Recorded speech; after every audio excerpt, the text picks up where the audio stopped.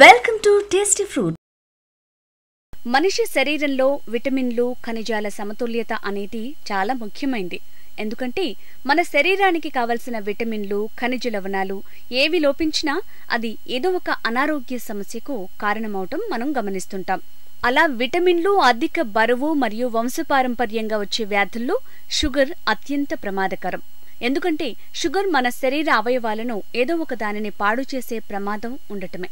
అయితే ఇటీవల university of California మరియు సియోల్ నేషనల్ యూనివర్సిటీ వారు సంయుక్తంగా జరిపిన ఒక పరిశోధనలో నలభై ఏడు కొత్త కారణాలు షుగర్ వ్యాధికి కారణమవుతున్నాయని తెలిపారు. దాని ప్రకారం విటమిన్ డి లోపం కారణంగా షుగర్ వ్యాధి బారిన పడే అవకాశాలు పుష్కలంగా ఉన్నాయని తెలియజేశారు. ఎందుకంటే వారు జరిపిన పరిశోధనలో విటమిన్ డి లోపం ఉన్న వారికి ఐదు రెట్లు ఎక్కువగా షుగర్ వచ్చే అవకాశం ఉందని అయితే విటమిన్ డి ఇరవై ఐదు నుంచి ముప్పై నానోగ్రామ్స్ పర్ మిల్లీలీటర్ రక్తంలోని ప్లాజ్మాలో ఉంటే అది ఆరోగ్యానికి మంచిదట. అయితే మనం గమనించాల్సిన విషయం ఏంటంటే పొద్దున్నే వచ్చే సూర్యరశ్మి వల్ల మనకు విటమిన్ డి అనేది పుష్కలంగా లభిస్తుంది. Thank you viewers for watching our videos please subscribe our tasty fruit channel